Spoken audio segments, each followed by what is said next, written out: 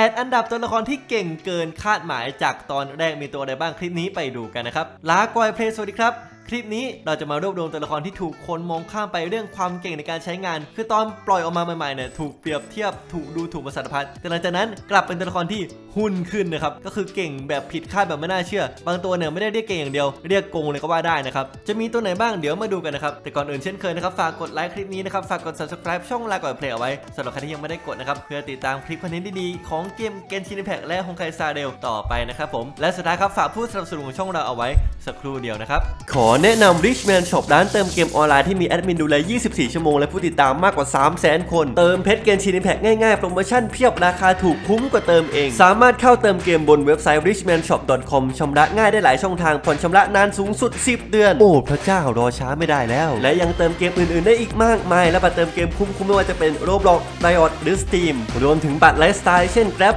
Line Tinder อยากเติมเกมสุดคุ้มสุดไวเติมก่อนจ่ายทีหลังนึกถึง Richman Shop โนหนึ่งเรื่องเติมเกม มาเริ่มจากอันดับที่ 8 กันก่อนนะครับ ก็คือ คุกิชิโนบุตัวละครสี่ดาวธาตุสายฟ้าที่มีความสามารถในการหิว ตอนที่ชิโนบุเข้าตู้มาตอนแรก ตอนนั้นถูกมองข้ามเยอะมากๆครับ ก็คือ patch 2.7 นั่นเอง แน่นอนว่าตอนนั้นเนี่ยธาตุไม้ยังไม่เข้ามาในเกมทำให้ชิโนบุเนี่ยก็ตกกระป๋องไปเลยในตอนนั้นแทบไม่มีคนใช้เลยด้วยซ้ำนะครับ บอกเลยไม่มีภาพเลยว่าตัวละครนี้จะเก่งขึ้นยังไง ทีมที่เห็นคนใช้ไม่ได้สุดก็จะมีอยู่แค่ทีมของยูล่าที่เอามาแปะไฟฟ้าเพื่อทำ Superconduct แค่นั้นเลยนะครับ โดยรวมตัวชิโนบุเนี่ยก็เป็นตัวละครที่อยู่ใน tier กลางๆค่อนข้างลงไปด้านล่างนิดนึงเป็นตัวละครฮิวทั่วไป ใช้ตัวอื่นแทนก็ได้ มีความแปลกใหม่แค่อย่างเดียวคือเป็นตัวฮิวธาตุไฟฟ้าတော်တဲ့ แค่นั้นเลย แต่หลังจากนั้นไม่นานการมาของธาตุไม้ทำให้ชิโนบุกลายเป็นตัวละครที่หุ้นขึ้นแบบก้าวกระโดดทันทีนะครับด้วยความที่เป็นตัวละครธาตุสายฟ้า แปะธาตุได้ถี่และแน่นอนฮิวได้ด้วยทุก ๆ 1.5 วินะครับระยะเวลา skill ค่อนข้างนานอีกต่างหากยิ่งมีกลุ่มดาวที่ 2 คือกดได้แทบตลอดเวลาเอาไปเล่นกับทีม Hyperbloom หรือทีม Quicken เนี่ยทั้งโหดทั้งเล่นง่ายเหมาะกับสายฟรีและใส่ตัวอื่น ๆ ง่ายด้วยนะครับนี่ก็เลยเป็นเหตุผลว่าทำไมชิโนบุถึงเป็นอันดับที่ 8 ในคลิปนี้นะครับก็คือตอนแรกเนี่ยไม่มีภาพเท่าไหร่เลยที่ออกมา แต่ตอนนี้กลายเป็นตัวละคร4ดาว top tier ไปแล้วนะครับ ถัดไปอันดับที่ 7 ครับก็คือยาเอะมิโกะอีกหนึ่งตัวละครธาตุไฟฟ้าในคลิปนี้ที่เก่งขึ้นแบบผิดคาดมากๆ ถ้าใครยังจำได้เนี่ยตอนออกมาใหม่ๆ ยาเอะมิโกะถูกเอาไปเปรียบเทียบกับฟิชเชลเลยนะ ว่าฟิชเชลเนี่ยเก่งกว่าด้วยซ้ำทำ damage แรงกว่าประโยชน์เยอะกว่า ซึ่ง ตอนที่ออกมาใหม่ๆเนี่ยมันก็เป็นแบบนั้นจริงๆนะครับคือฟิชเชลเนี่ยกินเวลาในสนามน้อยกว่าเยอะเลยนะครับและในสมัยก่อนเนี่ยปฏิกิริยาของธาตุไฟฟ้าเนี่ยอย่างที่เรารู้กันคือมันแย่มากๆเลย ตัวของยาเอะมิโกะเนี่ยเน้นในการใช้เสาช่วยทำ damage มันไม่พอครับแถมต้องสลับตัวมาเสกเสาอีกกว่าจะเสกเสาครบเนี่ยต้องเต้นไปเรื่อยๆแถมตอนเต้นเนี่ยถูก mon ตบกระแทกกระเด็นอีกนะกินเวลาในสนามนานมากๆ ก็เลยตอนนั้นเนี่ยยาเอถูกจัดอันดับ ต่ำกว่าฟิชเชลอีกนะครับหรือไม่ก็เท่าๆกัน แต่ปัจจุบันนี้ยาเอมิโกะก็ได้เปลี่ยนไปแล้ว กลายเป็นตัวละครที่หุ้นขึ้นสุดๆ แบบผิดคาดมากๆ แน่นอนว่าสิ่งที่ทำให้ตัวละครหลายตัวใน list นี้เก่งขึ้นมาได้ก็คือ การมาของธาตุไม้นั่นเองครับเป็นธาตุสุดขี้โกงในเกมตอนนี้แล้วก็ว่าได้ โดยความที่ตัวละครธาตุไม้ส่วนใหญ่ในเกมแปะธาตุไม้ได้นานและต่อเนื่องอยู่แล้วทำให้เรื่องนี้ลบข้อเสียเรื่องการกินเวลาบนสนามของยาเอออกไปได้ เนื่องจาก ทุกตัวในตี้เนี่ยมันไม่ได้กินเวลาเยอะขนาดนั้นนั่นเอง และการที่เสาของยาเอเนี่ยมันช็อตถี่และมี AOE เล็ก ๆ ด้วยทำให้มันแปะไฟฟ้าได้ดี และเสาก็ทำ damage ได้แรงอีกด้วยนะครับ นอกจากนี้การกด burst ของยาเอนั้น สามารถทำปฏิกิริยาได้ทุกฮิตเลยนะครับ เพราะฉะนั้นตอนเอาไปเล่นกับทีม Aggravate บอกเลยว่าโหดสุดๆ ความพีคก็คือตอนที่นาฮิดะเข้ามานะครับ เนื่องจากนาฮิดะเป็นเทพไม้ที่แปะไม้แบบสุดโหด ซึ่งมันก็ยิ่งส่งเสริมกันทำให้ยาเอะ เก่งขึ้นไปอีกนะฮะนี่ก็คือเหตุผลที่ทำให้ยาเอะอยู่อันดับที่ 7 ของคลิปนี้นะครับเทียบกับตอนปล่อยตัววันนั้นเนี่ยโอ้โหเก่งขึ้นแบบผิดคาดสุดๆไปเลย อันดับที่ 6 ในคลิปนี้ครับก็คือโคโคมินั่นเองตัวละครที่ถูกด่ามาสารพัดไม่ว่าจะเรื่องความสามารถที่ทำได้แค่ heal ตีติด crit ก็ไม่ได้ทำไมต้องทำให้อัตรา crit ติดลบด้วย ไม่ต่างอะไรกับตัว4ดาวเลย อาวุธประจำตัวก็แย่มากๆ ซึ่งวงเล็บอันนี้แย่จริงนะจำได้เลยตอนที่โคโคมิเข้ามาในเกมใหม่ๆเนี่ยถูกจัดอันดับไว้ tier ต่ำมากๆเลยนะครับหรือแบบต่ำสุดเลยก็ว่าได้ ก็คือไม่มีความเก่งอะไรเลยตอนนั้น อาจจะต่ำกว่าบาบาร่าด้วยซ้ำเพราะตัว heal ตัวนั้นน่ะมันก็พอมีอยู่แล้วนะครับแต่ใครจะไปคิดว่าตัวละคร tier ต่ำในวันนั้นจะกลายเป็นตัวละคร top tier ในวันนี้ได้ คือกลายเป็นตัวที่เก่งจนโกงไปเลยนะครับสิ่งที่ทำให้โคโคมิเก่งเกินคาดได้ในปัจจุบันนี้ไม่ใช่โดนัทนะครับแต่ก็คือartifact ใหม่และที่สำคัญที่สุดก็คือธาตุไม้นั่นเองนะครับตอนนำเล่นกับธาตุอื่นไม่เท่าไหร่แต่พอเล่นกับไม้คือกลายเป็นตัวบ้าไปเลยนะครับโดยเฉพาะทีมนิโล Bloom นะครับซึ่ง damage แรงมากๆแถมเล่นสบายด้วยบอกเลยว่าโหดสุดๆและด้วยความที่โคโคมิเป็นตัวละครที่ใช้สื่อเวททำให้การโจมตีปกติ สามารถแปะธาตุน้ำได้ด้วยเช่นกันนะครับแล้วก็พวกสกิลธาตุหรือท่าไม้ตายเนี่ยที่สามารถ refresh เวลาแมงกะพรุนได้ทำให้การแปะน้ำกว้างนาน และง่ายขึ้นไปอีก บวกกับเป็นตัวละครที่ปั้นง่ายมากๆ กลายเป็นว่าไม่ต้องปั้นค่า crit rate crit damage เลย เอาแค่เลือดกับค่าฟื้นฟูอย่างเดียวก็โหดแล้วนะครับ ก็เป็นอีกหนึ่งตัวละครที่หุ้นขึ้นสุดๆครับ ในตอนแรกที่ออกมาเนี่ย ก็ไม่เห็นภาพเลยนะณ moment นั้นนะ patch ที่โคโคมิออกมา ว่าปัจจุบันจะอยู่จุดนี้ เอาอันดับที่ 6 ไปเลยนะครับ ต่อไปที่อันดับที่ 5 ครับก็คือ พี่ติ๊กทินารีนั่นเอง ตัวละครใหม่ตัวไม้ตัวแรกของเกมนี้นะครับเป็นตัวละครที่จะถูกจับลงตู้หลุด rate ด้วยทำให้ตอนนั้นหลายคนก็มองข้ามไปว่าไปรอตู้หลุด rate เอาดีกว่า หรือไปรอตัวไม้ตัวต่อไปที่น่าจะเก่งกว่านี้ดีกว่าอะไรอย่างเงี้ยนะครับแต่หลังจากตัวละครธาตุไม้เยอะขึ้น artifact ธาตุไม้เยอะคนรู้วิธีเล่นมากขึ้นเนี่ยก็กลายเป็นตัวที่เก่งขึ้นมาเฉยเลยนะครับจนสามารถขึ้น top tier จนถึงปัจจุบันได้ เป็นตัวหลุด rate ที่เก่งที่สุดแล้วก็ว่าได้นะครับทินารีเป็นตัวละครที่สกิล cooldown สั้นมาก และใช้เวลาบนสนามสั้นมากเช่นกัน damage โดยรวมเนี่ยกลับทำได้แรงมากในเวลาอันสั้นๆนั้นนะครับโดยเฉพาะเอาไปเล่นกับทีมควิกสว p บอกเลยว่าเลข damage ขึ้นรัวๆนะครับ และด้วยการมาถึงของนาฮิดะแน่นอนอีกแล้วนะครับตัวนี้อวยทุกตัวนะครับก็ยิ่งทำให้ทินารีเนี่ยเก่งขึ้นไปอีกจนกลายเป็นตัวละครหลุด rate ที่เก่งเกินหน้าเกินตาตัวหลุด rate ด้วยกันทั้งหมดเลยนะครับและกลุ่มดาวก็ดีอีกด้วยซ้ำนะครับคือยิ่งปลดยิ่งเก่งหลุด rate มาได้เนี่ยไม่เสียใจขนาดนั้นนะครับเสียใจน้อยที่สุดในบรรดาทั้งหมดนะนะก็เป็นตัวหลุด rate ที่มีคนอยากได้ในปัจจุบันนะครับซึ่งแน่นอนนะครับก็ต่างกับภาพตอนแรกที่ตัวออกมาเลย น่าจะไม่มีใครคิดว่าทินารีเนี่ยจะติด top tier ขนาดนี้นะครับก็เรียกได้ว่าเกินคาดแบบสุดๆไปเลย ไปต่อกันที่ตัวละครอันดับทีสี่ 4 ก็คือนิโลครับเป็นตัวละครที่ถูกสบประมาทไว้มากเช่นกัน ว่าเป็นตัวที่ต้องเล่นกับทีมเฉพาะบ้าง ความหลากหลายไม่มีบ้าง เพราะว่าต้องจัดทีมธาตุไม้และธาตุน้ำเท่านั้นนะครับโดยความที่นิโลเนี่ยมีความสามารถในการสร้างเมื่อเฟืองพิเศษนะครับซึ่งเวลากดสกิลท่าเต้นครบ 3 ครั้งเนี่ยนิโลครับจะได้รับ buff พิเศษ ที่เวลาเกิดปฏิกิริยา Bloom เนี่ยจะเกิดเมล็ดพันธุ์แบบใหม่ขึ้นมาแทนที่เมล็ดพันธุ์ปกติ ซึ่งมะเฟืองแบบพิเศษเนี่ยจะระเบิดแบบแรงขึ้นมากๆ และระเบิดเร็วขึ้นด้วยนะครับซึ่งตอนนั้นเนี่ยก็กลายเป็นว่ามีมีมระเบิดนิวเคลียร์เต็มเลย ก็คือนิโลระเบิดเพื่อนในทีมตายหมดนะครับ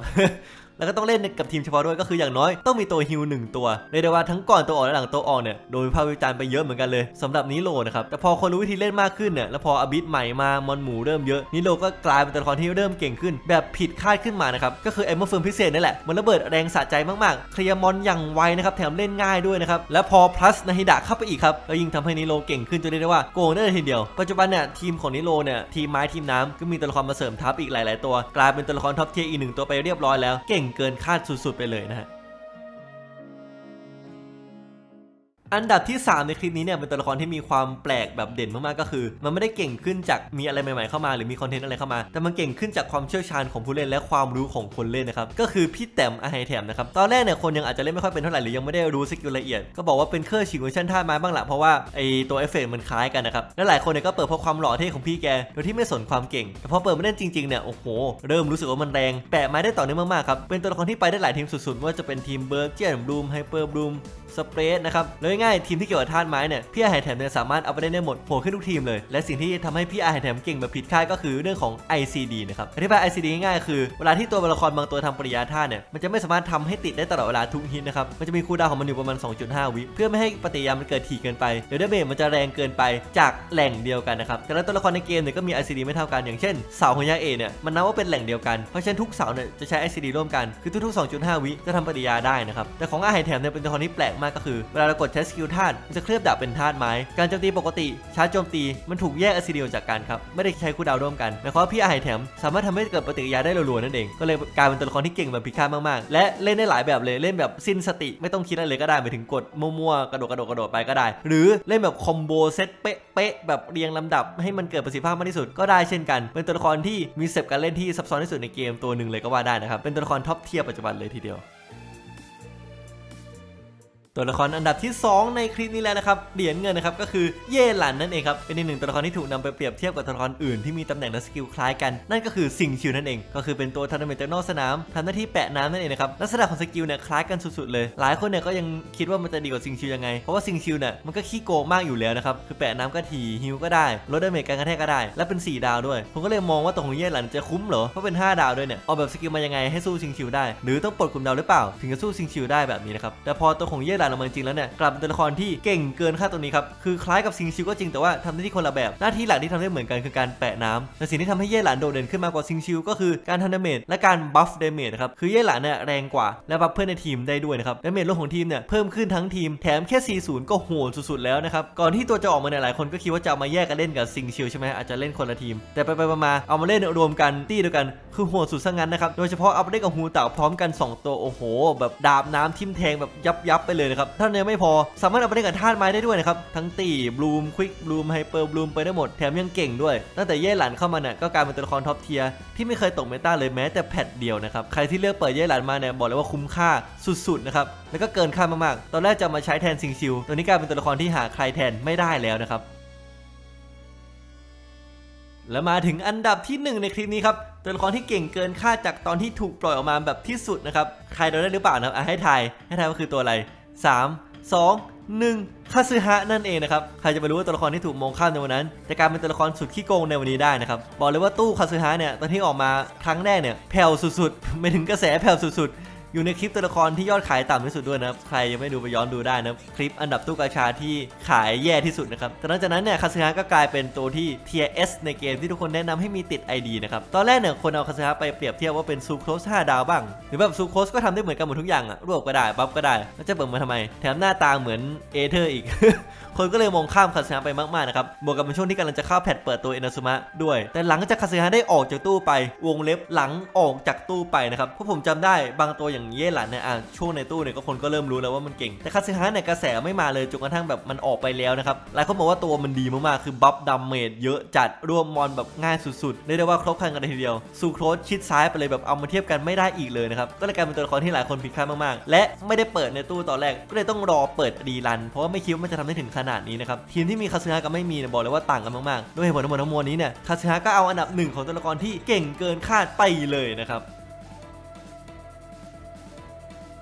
ก็จบไปแล้วสำหรับ 8 อันดับตัวละครที่เก่งเกินคาดนะครับ วันนี้ผมขอคอมเมนต์หน่อยว่าใครที่เดาได้บ้างว่าตัวละครใน list นี้เนี่ยมันจะเก่งนะครับ ใครที่เปิดกาชาพวกนี้ ซื้อหุ้นก่อนหุ้นขึ้นบ้าง โอ้โห คุณคือเทพนั่นเองนะฮะ ก็คอมเมนต์บอกมาหน่อยนะครับ หรือใครคิดว่ามีตัวละครตัวอื่นที่ควรจะอยู่ใน list นี้อีกเนี่ย ก็ คอมเมนต์มาได้เช่นกันนะครับ ส่วนตัวเนี่ย ตัวที่ผมภูมิใจที่สุดเลยนะ คือคาซึฮะ เพราะผมเนี่ย เปิดคาซึฮะ ก่อนมันหุ้นขึ้นนะคือได้ feel มากเลยนะ คือตอนเปิดมาใหม่ๆเนี่ย เรารู้แล้วว่ามันเก่งจริงนะ แต่เราเห็นกระแสมันยังไม่มาใช่ไหมแล้วสักพักหนึ่งเนี่ย พอแบบอายากะเริ่มมา เริ่มมีโยอิมิยะอะไรได้อย่างเงี้ย คาซึฮะก็เริ่มเก่งขึ้นนะครับอย่างฟินเลยนะ แบบมีใช้ในแบบที่ คนอื่นไม่มีนะฮะอะใครมีประสบการณ์แบบนี้นะ่ะก็คอมเมนต์มาแชร์กันได้นะครับและสำหรับวันนี้ลาก่อนก็ขอลาไปก่อน อยากดู topic ไหนอีกนี่ยก็คอมเมนต์มาบอกได้เช่นกันนะครับ แล้วเจอกันใหม่ในคลิปหน้านะครับทุกคนกับ content สนุกๆของเกม Genshin Impact นะครับสำหรับวันนี้บ๊ายบาย